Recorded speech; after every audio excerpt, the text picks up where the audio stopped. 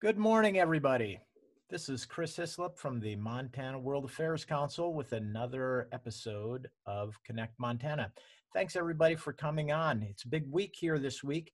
Uh, unlike our previous weeks, where we had international experts come in and talk a little bit about what they do, this week we're asking native Missoulians to come and talk to us a little bit about the international aspects and the international perspectives of Missoula and of Montana. I've heard some people say that uh, Montana doesn't have much of an international perspective. I think they would be very wrong. Um, certainly, um, in terms of the private sector, from timber to minerals, um, and today with agriculture and ranching, and not the least of which is also the emerging tech and optics and service industries, as well as our university system, has really lent an, an extraordinary uh, international element to our state and our communities. So, our first guest this week, I'm very happy to, to have uh, Mayor John Engen from Missoula join us. John is Missoula's 50th and longest serving mayor. He's accountable for the day to day operations of the city while providing leadership and vision for a community where quality of life is a core value for citizens. Engen's accomplishments range from comprehensive planning efforts to ensure that Missoula is a compact, compact, sustainable city to restoring the city's once private water system to public ownership. He's been a champion of conservation efforts, a partner in battling hunger and homelessness, and a proponent of thoughtful business development. Mayor Engen, thank you very much for joining us. Over to you. Be with you today. Um, certainly uh, appropriate that we talk about uh, Missoula's international nature because it turns out a global pandemic is a great reminder that uh, that uh, geographic and political borders don't necessarily make a lot of difference when we're faced with a threat or a crisis uh, or opportunities for that matter. So yeah, Missoula Missoula, for all the reasons you mentioned, and I think more, um, turns out to be Montana's international city. A lot for that, um, John. Um, I know uh, a lot of the participants in this show may not um, have been born here, frankly, in Montana, um, who, who've come here to Missoula and Montana uh, and have found a life um, so some of them might not know um, what was going on here in Missoula and in Western Montana, say 20, 30 years ago, in terms of timber and minerals and the connections that Montana had and still has with the rest of the world's rest of the world in those industries. I wonder if you could say a word about, you know, um, about those, please. Sure. Yeah. I mean, by virtue of house arrest, I've lived in Missoula all of my 55 years, and so I've seen a lot of change. Uh, and I grew up really in a timber town. Uh, Missoula was a place where uh, logging, millwork, uh, and timber-related industry was was a critical component of the local economy. Um, grew up in a place that uh, that uh, burned wood scrap in what were called giant teepee burners um, and those were in places, uh, including the heart of the city where Southgate Mall is today. Um, I grew up a couple of blocks away from a from a uh, lumber mill um, that's now a city park and condominiums. Uh, but for a long time, timber jobs are what mattered in Missoula, and those relationships again with uh, those economic relationships with Canada, um, in particular with regard to the timber industry were critical. Um, over the course of the, the late 70s, early 80s, uh, uh, the timber industry changed dramatically, and it was really a, a slow uh, and I think painful decline. Uh, and our economic development strategy for a long time was how do we turn how do we turn back the clock and become a timber town again? And uh, and mid, you know, early to mid 90s, I think uh, collectively uh, folks recognized that we probably weren't going to go back in time, that that industry had changed so dramatically, that the infrastructure had changed so dramatically that, uh, that something new was on the horizon. And the fact that we have a university here in Missoula is uh, a critical component, I think, of what has been a, a transition uh, over time to a service economy. And when we talk about service economy, it's less about uh, it's less about flipping burgers, though um, I can tell you that I enjoy a flipped burger as much as the next person, uh, and and more about providing those services that allow people to really um, export talent. Uh, so that began with kind of back office stuff. Sorry, the hazard of working from home is some ambient noise. Uh, so that transition began with uh, with a lot of back office work, things that could be done anywhere by virtue of technology, um, and that's transitioned even further into into a lot of value added services, uh, headquarters for tech companies, uh, and interestingly, uh, uh, what we call the experiential economy. Um, you live in a place that's beautiful, that has cool people and an entrepreneurial spirit. And the next thing you know, you've got cultural tourism, um, which goes hand in hand with with that international feel that I think uh, has slowly emerged in Missoula. John, those changes that you mentioned, you know, they mirror in part and are propelled in part by changes in the world. So, you know, obviously a, a, big difference between 30 years ago and today is our ability to connect, to communicate, to learn from, and to engage with people all around the world, oftentimes in real time. So we're, we're living in a different place. Could you say a few words about why that's important to the city of Missoula and what effect that has on Missoula's place in the world? Well, if you if you if you think about the barriers to uh, to living where you want to live. Let, let's say that your circumstances uh, allow you to make that choice in general, but for a few things. Uh, my job, for example, keeps me in a place. I am I am locked to a to a certain place because that's where my work is. Uh, technology has changed all of that, and so your work, as uh, my millennial friends remind me pretty often, um, work is a thing you do, it's not a place you go. And that's a little foreign to a, a middle aged boomer, but um, it is a fact. And so, uh, so if you look to places where quality of life matters and lots of folks in this world are in a position where they can make those choices about where they want to live, uh, clean, safe, uh, mid-sized community with uh, all of the amenities of a metro area uh, but very few of the hassles. And it turns out that Missoula is just that place. So people, A, spy the place, B, realize that there is not uh, the, the old impediments to living where you want to live don't exist anymore. Uh, and suddenly you're you're doing business from your kitchen table or uh, an espresso bar or you name it. So there's a lot of opportunity um, for people, um, for businesses, um, for others to come to Montana, to come to Missoula, um, and benefit from the things that you mentioned. Um, so, uh, but I wonder also about the risks involved. Um, do you see, uh, in terms of this engagement in the world, are there any risks for the city of Missoula and our community?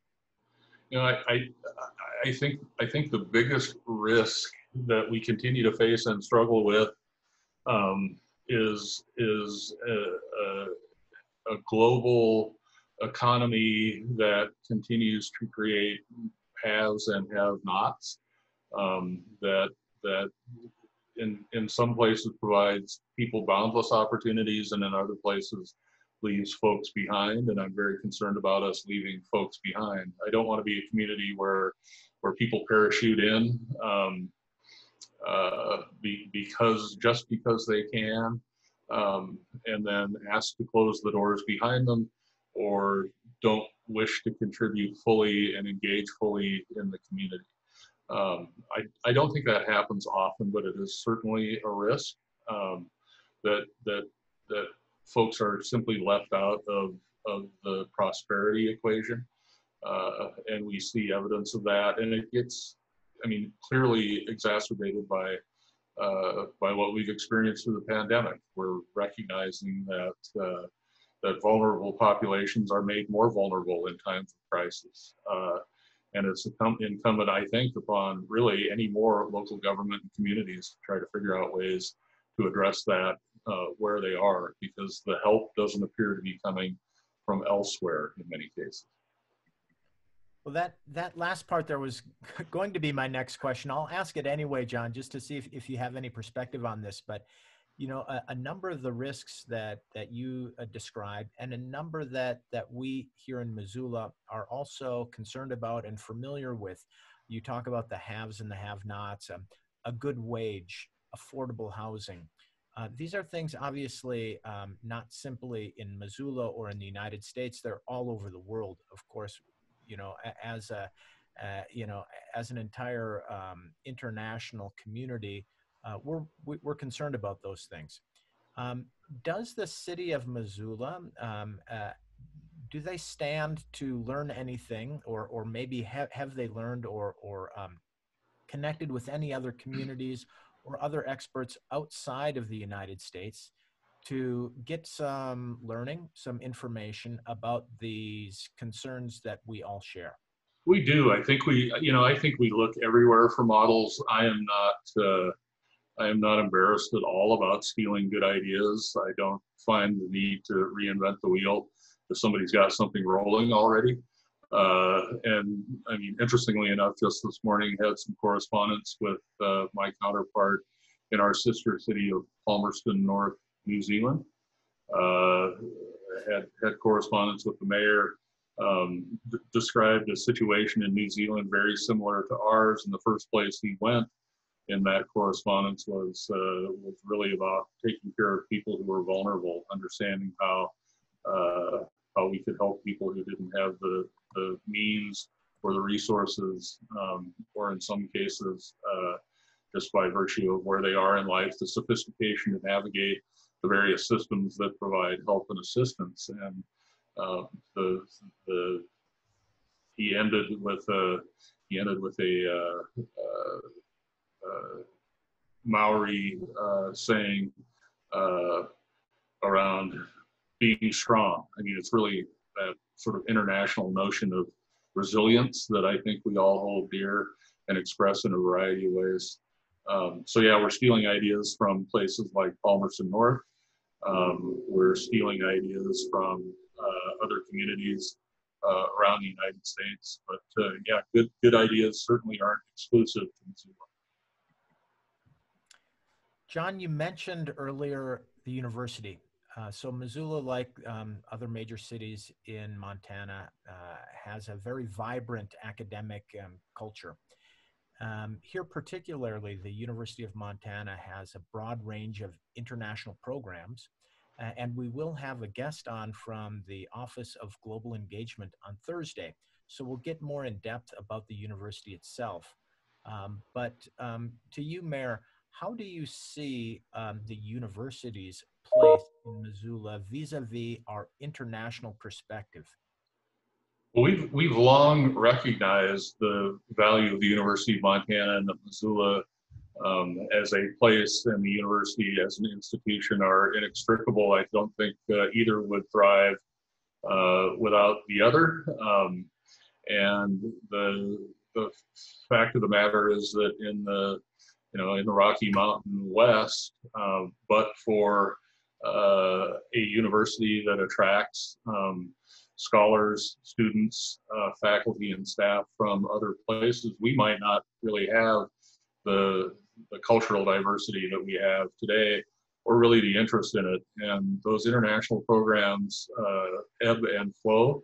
Um, but I think uh, the degree to which we celebrate those international relationships, um, the more that we understand the world, not only through academic programming, but by uh, but through people-to-people relationships that we establish with students, faculty, and staff, um, the better off we are. And we we worked pretty hard at the city of Missoula uh, to recognize that. We we fund uh, Arts Missoula, um, which uh, which provided us an opportunity to uh, hire someone full time. I happen to see him in his what appears to be pilot regalia today.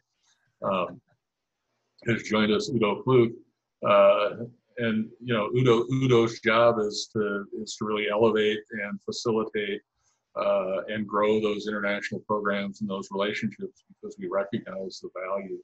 Uh, our hope is that we continue to attract international students, uh, more international students, and there's also this link with our uh, our refugee population. Missoula is a welcoming city, um, and that didn't just begin with human rights crises in the Congo, Congo or Eritrea or Syria or Iraq. They began uh, in the late 70s and early 80s with uh, with the Hmong people from Laos.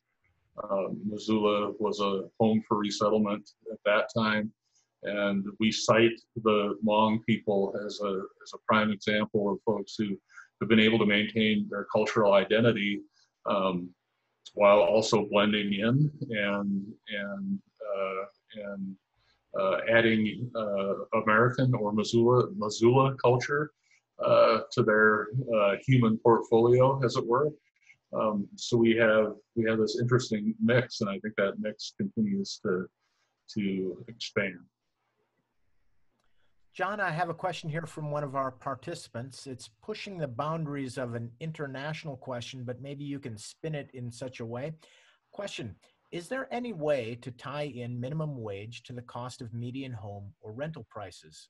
i.e., wages must permit someone to pay no more than a certain percentage of their income for housing. Uh, so the, the short the short answer is that barring some statutory changes, um, at the state level, no. Um, however, at the city of Missoula, for example, we've moved to a $15 an hour minimum wage. Uh, that still doesn't meet the, uh, that generally still doesn't meet the, match the cost of housing as a percentage of income. Uh, so we're working at that from the other side, and that other side is how do we, as a city, work to subsidize uh, housing, and that comes in the form of uh, anything from actually owning uh, and having uh, limited equity models to providing land. And that's one of the things that's been most effective for us. And then supporting nonprofit developers who guarantee long-term affordability as a function of uh, the city's participation. Um, our housing policy is uh, goes into uh, great detail with regard to um, our strategies around housing affordability. And then on the wage side, we've worked very hard through the Missoula Economic Partnership, which is celebrating its 10th anniversary, really born of a born of the last Great Recession, um, and has uh, has been a facilitator for the thousands of living wage jobs that have come to Missoula over the course of the last decade. Um, we're nowhere near perfect. Um, and it's it's a piece of the puzzle that I'm working on with staff and council every day. Here's another one from a participant. We tend to be consumed by the challenges and setbacks from the current coronavirus. What do you see as some opportunities that could come out of this global pandemic for the city of Missoula? Well, we talk about, you know, we've talked about resiliency and we've talked about resiliency really in the context of climate change. And there's been a lot of work done uh, in the city of Missoula, uh, Missoula County, and working with the University of Montana uh, to create plans and protocols for limiting our carbon footprint uh, to move toward 100% clean energy uh, and much more.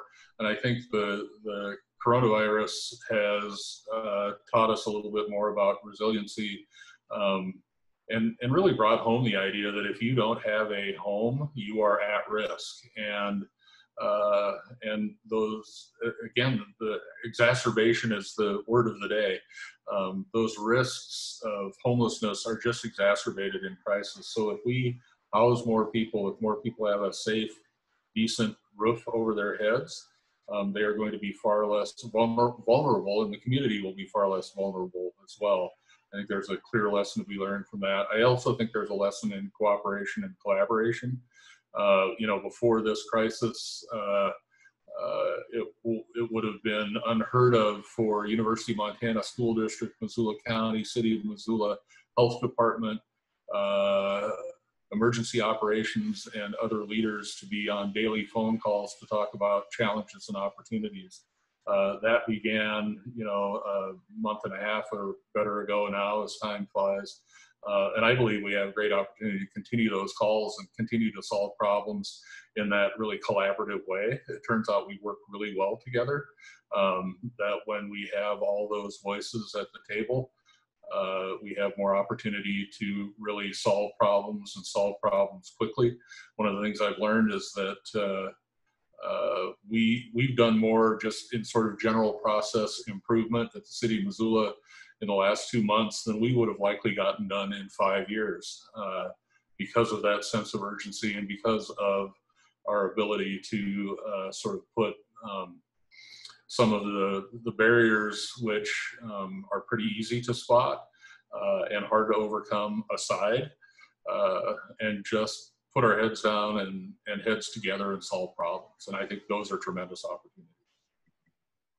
Yeah, I'd like to think that we're all maybe learning that lesson about uh, reconnecting and recommunicating and, and the power of that very simple act. Yeah. question from uh, Brigitte Miranda Freer. She's the executive director at the Montana World Trade Center. What is the current state of Missoula's program to welcome refugees?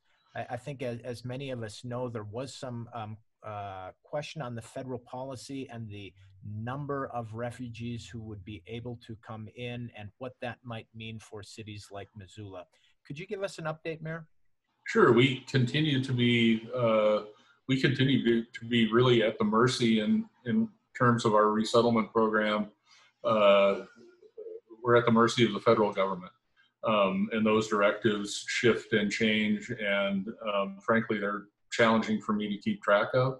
Um, I have regular correspondence with Jen Barile, who is the local director of the International Re- uh, Rescue Committee, our local uh, resettlement agency, along with our local nonprofit uh, Soft Landing, um, that really spurred the, the refugee resettlement uh, movement here in Missoula uh, or reignited it. Uh, and we continue, the, the numbers will be limited. The numbers of refugees who are allowed to, to uh, migrate to uh, the United States will continue to be limited. Um, and those numbers continue based on what I've seen to be in flux. Uh, but our hope is that the success of our program uh, continues to demonstrate uh, to the cooler heads that may prevail uh, that the United States is still a place where our tired and poor uh, can come and build lives and grow communities and make us all stronger and better. John, we've got time for one more participant question. Um, Donna Anderson, who is the head of the Global Engagement Office at the University of Montana, writes, what conversations and collaborations are currently happening with our international sister cities? Anything new in light of the global pandemic? You know, uh, apart from the correspondence, and I, I need to uh, I need to check back in. Got a little time difference that causes a problem with New Zealand, but uh, I'm going to check in with uh, with uh, Grant Smith, the mayor of Palmerston North, uh, today. frankly, have not heard anything from our sister city in Neckargemünd, but intend to reach out uh, to the Burgermeister, as it were, uh, and see what's happening there. I have some friends in uh, Munich and in London, and so I'm hearing a little bit about what's afoot in those places. Uh, but I think we'll we'll try to trade some ideas. That our our systems of government are quite different, um, but again, uh, those systems can change, and in some cases, they can change at the local level. Thanks for that, John. Um, I just want to add that, um, you know, I have been um, extremely pleased as a newcomer to the Missoula community to see all of the opportunities and the different international aspects and perspectives the city, the community, the university, the private sector, um, and uh, you know across the board have to offer. Uh, it's been quite invigorating for somebody who's really interested in these things like myself and our organization. So thank you very much for sharing your perspectives, Mr. Mayor. Over to you for any last words. Uh, just thank you for the opportunity and thanks to uh, the World Affairs Council. Um, the World Trade Center uh, cultural affairs at Arts Missoula. I mean, we have champions in this arena. You're one, Brigitte is certainly one, Udo is one, uh, and there are many others who have been uh, who have been uh, leading the way and ensuring that uh, that international programming and international relationships uh, are on the minds of Missoulians and that our lives are, our perspectives are broadened. Um, and so the, the programming that you all provide, um, whether it's, uh, there was a time when it was all in person, but now Zoom works as well. Uh, the more of that programming that's out there, the more aware we become and the, the smaller the world gets in all of the right ways. So thank you again. I appreciate your time this morning and all of what you all do. Thank you so much, Mr. Mayor. Thanks for joining us and those words of encouragement. Um, to be sure, the ground is very fertile here in Montana and in Missoula for um, the kind of engagement that the Montana World Affairs Council, the World Trade Center, and others do. So um, it makes our job uh, much easier. So that is concluding our show this morning with Mayor John Engen. Tomorrow, we've got Dr. Udo Fluck. Of course, he's the Director of Global and Cultural Affairs for the City of Missoula. Uh, that's again at 9.30 a.m. So we're going to hear a little bit of uh, Udo's um, perspectives on, again, Missoula, its international aspects, its international perspectives, and what that means for the city and our community. That's followed on Wednesday, Wednesday, excuse me, with Fernando um, Barreto, uh, sorry, Mena Krum, sorry if I've axed that name. She is the co-founder of Imagination Brewing from Brazil. She's a longtime Missoulian who's going to share her perspectives. And then the Associate Director of Global Engagement at the University of Montana, Marja Unkuri Chaudhry, uh, will join us. All of those shows are at 9.30. I very much hope that you can join us. Thank you all for coming. Have a good day.